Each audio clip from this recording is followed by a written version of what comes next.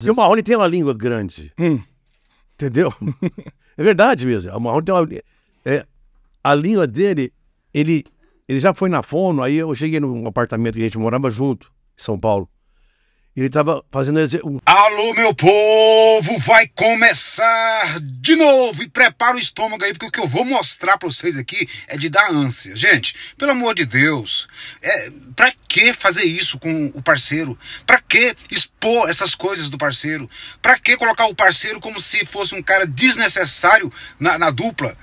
Pô, eu vou, vou colocar pra vocês aqui, porque se eu só falar, é capaz de ter gente que duvidar ainda. Não, eu não acredito que o Bruno falou isso, não. Pois falou, tá? Até porque a gente trabalha com a verdade aqui, certo? Então, vou colocar pra vocês um, um trechinho aqui. Logo em seguida, eu vou colocar mais outro trecho, onde a coisa fica pior ainda, tá? Então, prepare aí, porque, gente, pelo amor de Deus, prepare aí, porque eu vou colocar coisas aqui que é mais humilhante do que isso aí ainda. E o Marrone tem uma língua grande. Hum. Entendeu? é verdade mesmo. O Marrone tem uma. É, a língua dele, ele, ele já foi na fono, aí eu cheguei num apartamento que a gente morava junto, em São Paulo. Ele tava fazendo um peso na língua, assim, ó. Fazendo alterofilismo com a língua. Aí eu falei, o que você está fazendo? Ele falou, o médico falou que tem uma língua grande demais, aí eu tenho que fazer, para fazer, fortificar a minha língua, para a língua dele voltar. A dicção era ruim por isso. Ah, por isso. Uhum. Então a língua dele eu acho que deu uma melhorada. E as amígdalas dele também é grande. E a orelha também.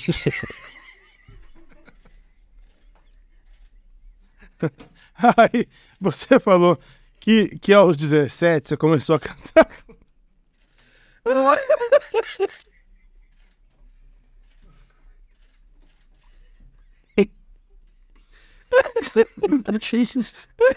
Só falando um pouquinho desse negócio que o Bruno acabou de falar do Marrone, gente, mesmo sendo verdade, qual é a necessidade de expor isso, cara?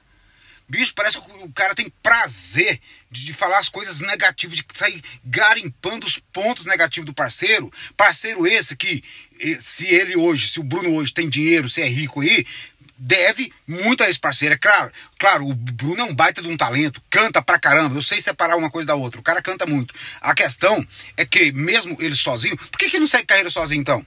Gente, pelo amor de Deus. Agora, veja agora, tá? Veja agora o que esse camarada aí, ó, o Bruno, falou do parceiro, gente. Colocou o- Marrone como um ser inútil na dupla, praticamente. Veja agora o que eu vou colocar pra vocês aqui. O Bruno colocando o Marrone como se fosse um inútil, tá? E ainda falando desse assunto anterior, o Bruno é, é aquele cara que, que fica ca- caçando qualquer coisa negativa do parceiro pra expor, né? Se Deus o livre o Marrone tivesse hemorroida, o Bruno era capaz de chegar e falar que ele tinha. Entendeu? Então, pe- pelo amor de Deus, gente. Sabe, pra que isso? Agora veja aí o Bruno falando que o tipo de música que ele canta não precisa de segunda voz. Então por que, que você não canta sozinho, ô cara de, de jaca? Por que, que não canta sozinho? Porque você uma vez tentou cantar sozinho e não deu certo. Eu sei disso, tá? Que eu não sou bobo, não. Eu sei daquele negócio que você tentou cantar sozinho. Fez meio que um, meio que um teste. Eu não sou bobo, eu percebi. Os alienados não perceberam, mas eu percebi. Tá? Então veja aí o Bruno colocando o Marrone como se não tivesse necessidade nenhuma dele na dupla. É porque, na verdade, esse tipo de música que eu canto, é, ela não tem muita necessidade de segunda voz. Se você for analisar. Já tive inevitável. Não tem muita necessidade de ter segunda voz. Mas deixa aí as suas opiniões. Você acha certo essa forma que o Bruno expõe o Marrone? Você acha que isso é certo? Eu já dei minha opinião, tá? Isso é totalmente desnecessário, para não falar outros nomes aqui em respeito às regras aqui da plataforma. Mas pelo amor de Deus, eu quero os comentários de vocês aqui abaixo. A gente tá fazendo muito sucesso já no Brasil, mas de qualquer forma o cara é um artista mundial. Mundial. Aí, incrível que pareça, eu tava aqui na fazenda exatamente. Aí o telefone tocou, a minha funcionária falou, ó, tem um tal de Ruli, Júlio, igreja, não sei o que lá. Igreja? entendi muito. Ruli Igreja? É, ela é é uma pessoa muito simples. Falei, será que não é Ruli Iglesias? Não, ela falou, acho que é isso mesmo. Tá querendo falar com o senhor no telefone. Falei, não é possível, o Ruli Iglesias ligando pra mim aqui na fazenda. Aí fui atender a ele realmente lá, ele tava já em Recife. Aí ele falou pra mim assim, é, e a nossa música? Tá pronta? Eu não tinha feito uma palavra. Tinha que sair correndo aqui para São Paulo para dedicar a música uma semana até ele que falou, vou estar vou estar quinta-feira da semana que vem, isso era uma quarta-feira de uma semana. E na quinta-feira ele estar- ele ia estar em São Paulo. Falou. Aí eu falei, na verdade eu menti para ele, falei que tinha feito só metade. Falei, eu fiz só metade, Júlio, porque é uma respons- responsabilidade muito grande fazer uma música para você. Então fiz a metade, vou te mostrar, se você gostar, aí eu continuo. Termina a música. Aí, mas na verdade não tinha feito nada. Aí fui pra São Paulo, fiz a música inteira. Aí fui mostrar pra ele, mostrei só metade da música no camarim. Eu tinha falado pra ele que só tinha feito a metade. Aí ele ouviu e falou, ó, não precisa fazer mais do que isso, a música tá maravilhosa. Só que eu já estava com a música pronta. E que música maravilhosa, hein? Aí, é, aí, aí eu falei, então eu vou pra casa, mas vou ver se eu consigo fazer alguma coisa é, mais interessante, uma segunda parte. Ele falou, tá, tudo bem, você que sabe. Aí no outro dia eu liguei pra ele, falei, ó, consegui fazer um negócio aqui, uma segunda parte, mas que já estava pronta já há muitos dias.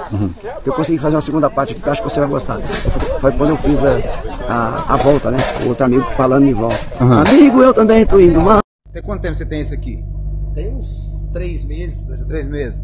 Mas é, você tinha uma Lamborghini, não tinha? Aham, tinha um Lamborghini.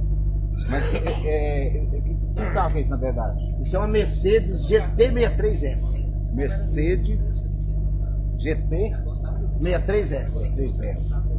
Isso aí. Pode falar o valor? Esse brinquedinho, não? Ah, cara, pode falar, mas é. Um carro de mais ou menos. Se você não quiser falar, não tem não. Ah, um carro não é caro, assim. É um carro com preço mais elevado, né? Um carro que faz- paga mais ou menos um milhão e meio, um milhão e quinhentos e Um cinquenta. milhão e meio. Baratinho, gente. Eu vou comprar se Deus quiser daqui uns dias. Se Deus. É, pra quem andava de, de Fusca, já melhorou um pouco, né? Melhorei. Vai melhorar muito mais, Vai melhorar muito mais. Isso aí. Vou só mostrar o, o painel, que lá eu pensei que tava gravando, não tava gravando não. Isso aí.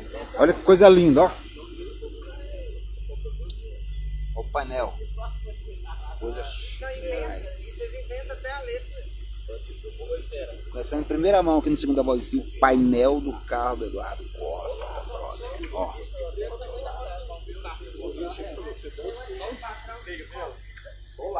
Eduardo, você. Quando você, você tem um local aqui pra você correr com ela e tal, um autódromo assim? Ah, tem uns lugares aqui que a gente vai, aqui em Santa Lucia, aqui em Betim, a gente põe pra lascar. Aí lá extravasa. Aí o pau pra moer. Põe a Thaís no bagageiro. Põe a Thaís no bagageiro e o pau morre. Ô, meu irmão Eduardo Costa. Alô, bordão, alô, meu povo, vai começar de novo. Ah, moleque! Alô, meu povo, vai começar de novo, tamo junto. amigo.